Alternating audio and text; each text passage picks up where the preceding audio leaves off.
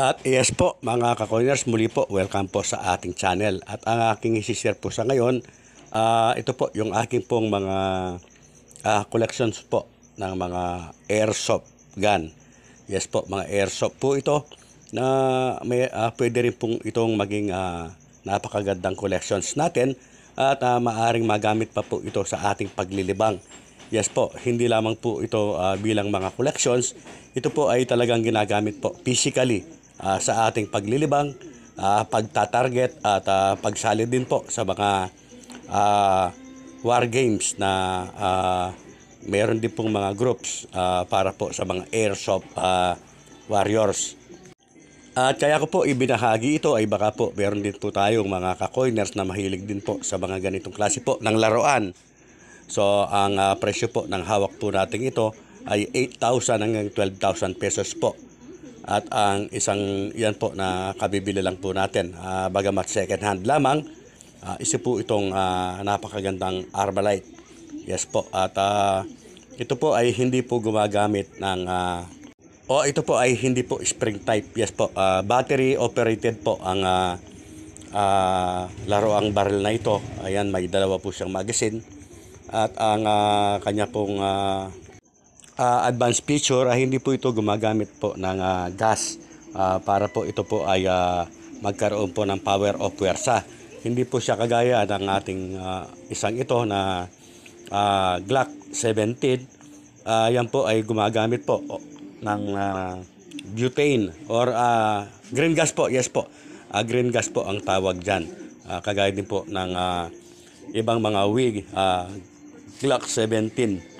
At ah, kung gusto po na naman ninyo ng medyo mumurahin kung ah, magsisimula pa lang ah, magsisimula pa lamang po sa paglilibang sa mga ito, ah, meron pong spring type ah, yes po, spring type po na tinatawag. Napakaganda rin naman po ang mga ito at abot ah, ang kamay lamang ang presyo.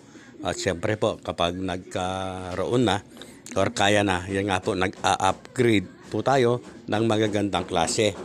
Bagamat ang mga ganitong klase po ng ah, mga laruan o mga collection, kung collections nga na matatawag, ah, hindi po ito kagu- kagaya, ng mga barya, mga coiners na habang lumalaon ay ah, tumataas ang presyo. Ang mga ito po ay kagaya lamang po ng mga kotse or mga cellphone po na napakamahal po ng ating pagkakabili at mayat maya ay mayroon pong upgraded o upgraded na bagong-bago na darating. Yan po nagdi-devaluate po ang mga yan. Bumababa po ang presyo. Kaya ako po ay ah, hindi po ah, laging bumibili ng mga brand new sa mga yan. Ah, nag-aabang lamang po ako dun po sa mga nagbebenta na mga second hand dahil mas mura po. Yes po. Ah, napakamahal halimbawa ng ating pagkakabili at yung ah, kung yan po ay ating ibebenta ay bababa po ang ah, presyo mga kakoiners. Ah, kaya lang ah, dahil gusto po nating maglibang na gamit po ang mga laruan yan, kaya po tayo ay ah, gumagastos talaga.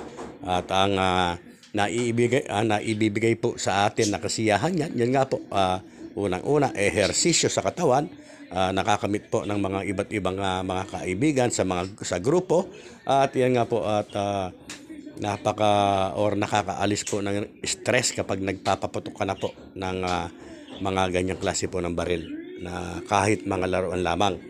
Kaya lamang po ay dapat maging responsable tayo kung tayo po ay may ah, mga ganyan.